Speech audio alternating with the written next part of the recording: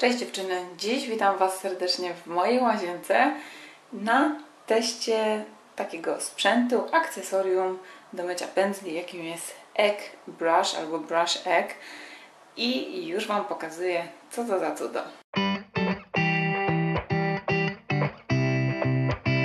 Jajeczko do mycia pędzli wygląda w ten sposób. Z jednej strony mm, ma taką gładką powierzchnię tylko i wyłącznie z napisem, a z drugiej strony ma taką powierzchnię jak podeszwa buta, taką chrapowaną, taką e, jak widzicie troszeczkę drabinkową, nie wiem jak to nazwać. E, I dzięki temu właśnie możemy sobie w precyzyjny sposób wyczyścić pędzle. E, oczywiście za chwileczkę Wam pokażę jak ja to robię. Szczerze mówiąc jeszcze jej nie używałam, więc będzie to taki test na żywo, ale już myślę, że z powodu samej budowy będzie się idealnie właśnie nadawała do tej właśnie czynności. Więc jeżeli jesteście ciekawi w jaki sposób wykonuję mycie moich pędzli, to serdecznie Was zapraszam do dalszego oglądania. Do mycia pędzli standardowo używam e, szamponu dla dzieci i jest to szampon Johnson's Baby, który mm, tak naprawdę chyba moim zdaniem jest najlepszym produktem do mycia pędzli z uwagi chociażby na to, że te pędzle później są w takim bardzo dobrym stanie, bardzo mięciutkie, bardzo puszyste. Myślę, że o to chodzi w dobrych pędzlach. Moi drodzy, ja używam e, tego produktu, pomimo tego, że nie jest antybakteryjny, to tak jak mówię, bardzo dobrze mi się sprawdza i jeżeli chcecie również dezynfekować pędzle, co jest wskazane, to mm, polecam zakupienie sobie produktu do dezynfekcji pędzli. Ja Wam teraz nie pokażę tego produktu, ponieważ on mi się skończył, ale jest to chociażby produkt dostępny w sklepach e, medycznych i e, przykładowy produkt to chociażby Skincept. A więc te dwa produkty i myślę, że mycie pędzli jest totalną pestką.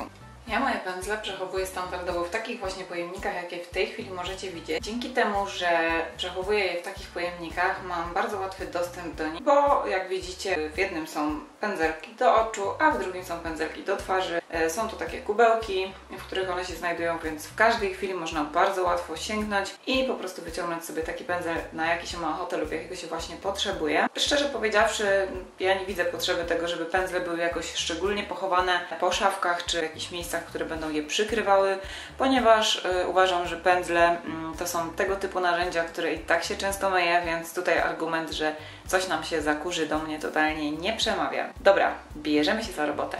W pierwszej kolejności rozpracujemy sobie pędzle mm, do twarzy i beauty blendery i ja teraz zrobię Wam zbliżenie na mój zlew, który jest moją komorą do mycia tych pędzli i będziemy je szorować. Moim zdaniem bardzo ważne przy myciu pędzli jest to, aby robić to ciepłą wodą, więc odkręcamy ciepłą wodę. Przedmiot ten, właśnie zwany jajeczkiem do mycia, e, ma tutaj taki otwór i przez to, e, że właśnie ma ten otwór, to możemy sobie tutaj włożyć dwa palce e, i dzięki temu mamy taką ala pacynkę. I dzięki temu teraz biorąc pędzel do mycia, nałożymy na niego produkt do mycia, akurat w moim przypadku będzie to szampon i każdy jeden pędzel będziemy właśnie mm, pocierać tutaj o tą powierzchnię. E, bardzo ważną jeszcze rzeczą, jeżeli chodzi o mycie pędzli jest to, abyście unikały jak najbardziej się da kontaktu z wody z tą skówką pędzla, ze względu na to, żeby tutaj właśnie nie zaszło mm, takie zjawisko, że coś nam się będzie odklejało w przyszłości, albo że ta skówka jakoś nam się będzie wysuwała. Po prostu y, nie jest to wskazane i y, lepiej tego unikać, więc po prostu starajcie się na to zwracać uwagę.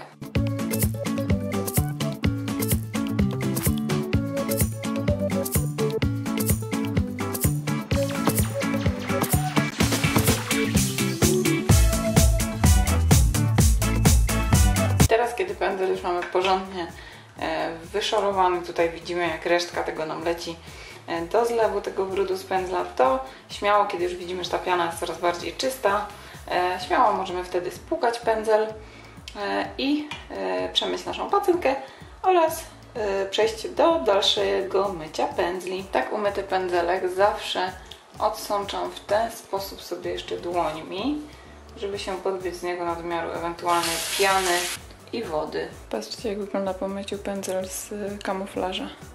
Całkowicie po prostu bez, y, że tak powiem, skazy.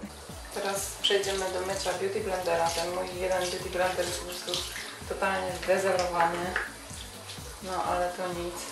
I również tak go pocieram jak o kostkę mydła, powiem Wam. I to po prostu jest najlepszy sposób.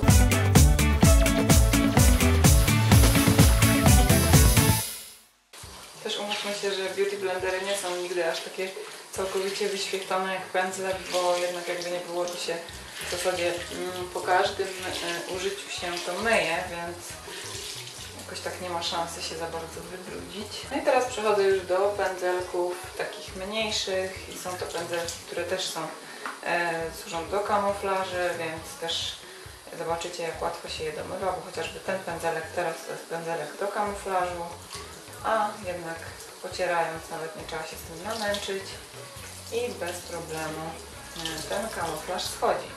I również e, biorę od razu kilka pędzelków, które mm, są pędzelkami typowo do y, cieni i są one brudne, więc wezmę je wszystkie je jednakowo w jednym czasie będę szorowała.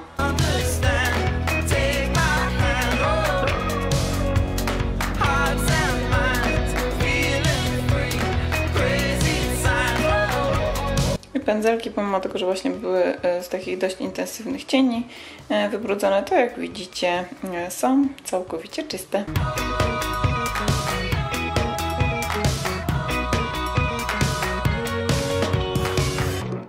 Na sam koniec również zawsze myję pojemniki, które przechowuję pędzle, ze względu na to, żeby utrzymać je w czystości. Umyte pędzle zawsze układam sobie na ręczniku Najpierw układam sobie te wszystkie pędzle y, do twarzy. Jest taka opcja, że możecie używać specjalnych takich nakładek na pędzle, aby utrzymać je w odpowiednim stanie, ale ja takich nakładek nigdy nie używam, moje pędzle się nie odkształcają, więc ja po prostu sobie w tej chwili takich nakładek nie nałożę, ale posiadam takie. E, zapewne wiecie, jak one wyglądają. Są to takie siateczki, które można nałożyć właśnie na pędzel i dzięki temu po prostu e, te włosy utrzymać w dobrym i odpowiednim stanie.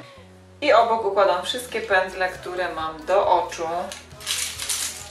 I jakoś nie skupiam się na tym, żeby to było jakieś mega precyzyjne, po prostu żeby każdy z tych pędzli leżał sobie luzem. I kiedy pędzle już wyschną, to do moich dwóch pojemników, w których na co dzień przechowuję te pędzle, wkładam sobie je tak jak pierwotnie były, czyli najpierw wkładam sobie pędzle do twarzy,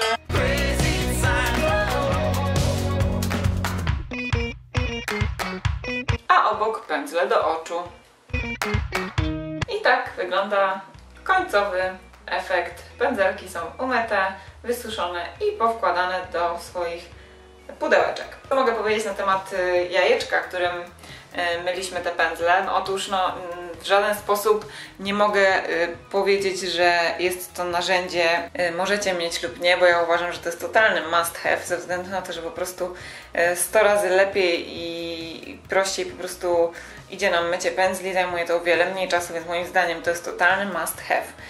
Więc yy, moi drodzy, jeżeli jesteście zainteresowani posiadaniem takiego jajeczka, to mam dla Was przemiłą informację, że yy, pod tym właśnie filmem będzie taka możliwość, aby trzy osoby właśnie wygrały takie jajeczko yy, i warunkiem tego będzie to, yy, żebyście dali mi znać, jakie Wy macie sposoby na mycie pędzli bez tego jajeczka, które Wam ułatwiają życie, jakimi produktami to robicie i odpowiedzieć na pytanie, dlaczego pielęgnacja pędzli jest tak ważna. Najbardziej ciekawe wypowiedzi, które mnie zainteresują lub które e, będą bardzo wartościowe moim zdaniem, e, właśnie te osoby zostaną wytypowane i wygrają właśnie takie przydatne, niezbędne wręcz e, w pielęgnacji pędzli jajeczko. Dziękuję Wam bardzo za oglądanie i widzimy się w następnym odcinku. Pa!